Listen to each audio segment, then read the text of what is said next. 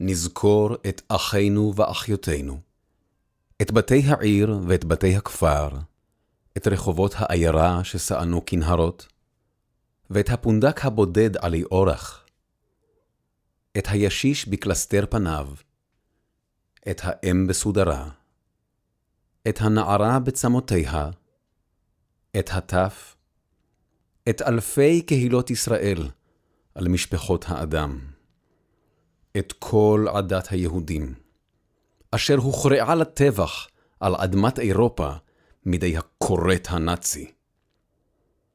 את האיש שזעק פתאום, ובזעקתו מת. את האישה שחבקה את תינוקה אל ליבה, וזרועותיה צנחו. את התינוק, שאצבעותיו מגששות אל פטמת האם, והיא כחולה וצוננת. את הרגליים, את הרגליים שביקשו מפלט, ולא היה מנוס עוד, ואת שקפצו ידיהם לאגרוף, האגרוף שחפן את הברזל, הברזל שהיה לנשק החזון, הייאוש והמרד.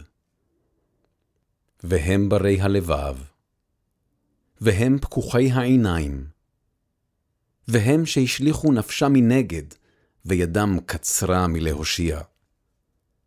נזכור את היום, את היום בצהריו, את השמש שעלתה על מוקד הדמים, את השמיים שעמדו גבוהים ומחרישים.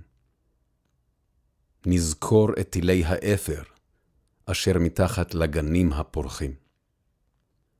יזכור החי את מיטב, כי הנה הם מנגד לנו.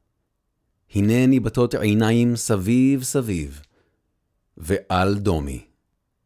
אל דומי לנו, עדי יהיו חיינו, ראויים לזכרם.